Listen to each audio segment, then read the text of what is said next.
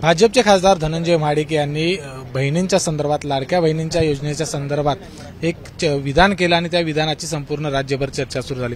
आपण एका सभेमध्ये विधान केलेलं आहे लाडक्या बहिणींच्या संदर्भातलं. काय विधान होतं तुम्हाला काय म्हणायचं? या आजच्या सभेमध्ये मी वक्तव्य केलं होतं की लाडकी बहीण योजनेचा लाभ ही या विधानसभेच्या निवडणुकीतील गेम चेंजर योजना असणार आहे. कारण काँग्रेसनं आजपर्यंत ज्या ज्या राज्यामध्ये अशा पद्धतीची घोषणा केली त्या ठिकाणी त्यांनी ती पूर्ण केली नाही. सत्ता आल्यानंतर त्यांनी आपल्या विधानापासून फारकत घेतली आणि त्या महिलांना लाभ मिळाला नाही. महाराष्ट्रामध्ये खूप मोठ्या प्रमाणात महिलांना लाभ मिळालेला आहे. राज्यभरामध्ये दोन करोड तीस लाख महिलांना या योजनेचा लाभ मिळाला. कोल्हापूरमध्ये साडे दहा लाख महिलांना या योजनेचा लाभ मिळालेला आहे.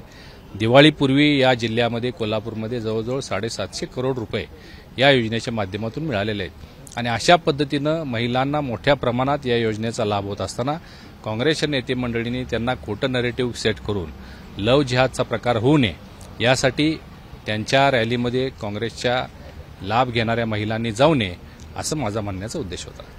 तुम्ही असं म्हटलं की त्यामध्ये तुम्ही फोटो घ्या नावं घ्या त्यांची आपण व्यवस्था करू. काय नेमकं? अशा जर महिला जात असतील तर त्यांना कदाचित लाभ मिळाला नसेल. त्यांचे फोटो घ्या त्यांचा व्यवस्था करू म्हणजे त्यांना आपण त्या योजनेचा लाभ देऊ अशी माझी म्हणण्याची भूमिका होती. या आपल्या वक्तव्यानंतर देखील लाडक्या बहिणी महायुतीला साथ देतील?